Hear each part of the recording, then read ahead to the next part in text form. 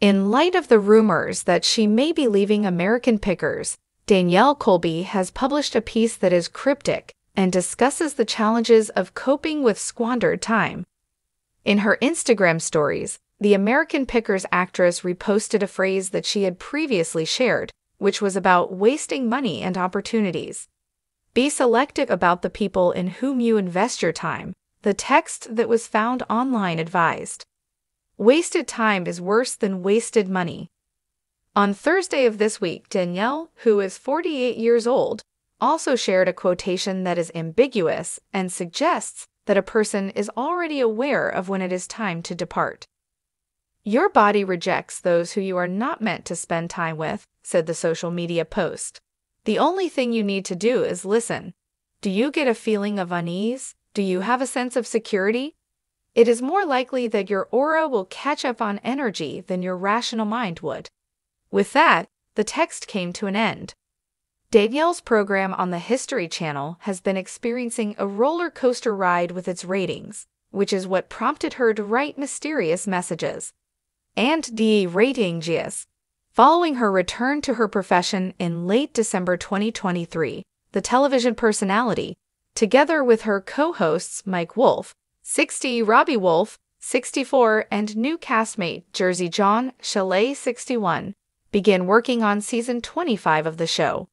It was disclosed by the United States Sun that the ratings for the first episode, which was titled Classic Car Cemetery, achieved about 723,000 people. Although around 676,000 people tuned in to see the second section of the debut, which was titled Hidden Cash Stash, viewership dropped even lower during that portion of the show. In recent times, the once popular program has had a debut rating that is the lowest it has ever been.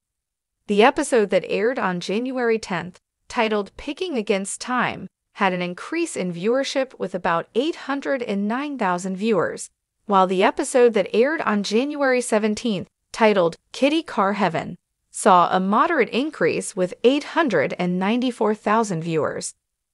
The United States Sun reported that the episode that aired on January 31st, titled The Mile Long Yard Sale, received 813,000 viewers.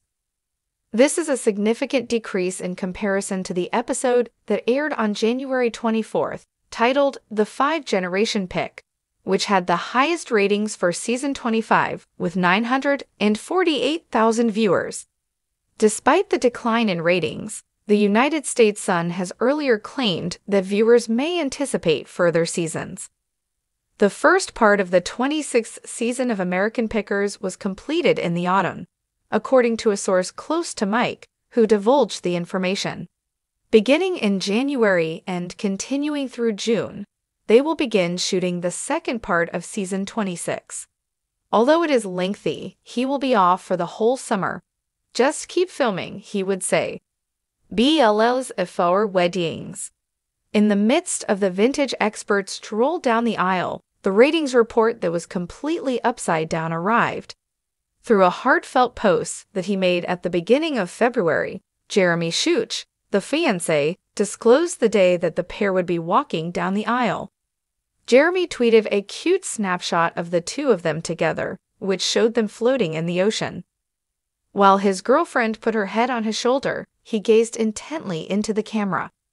According to the description that Jeremy added to the image, I get to marry my best friend this month. He also included a red love emoji.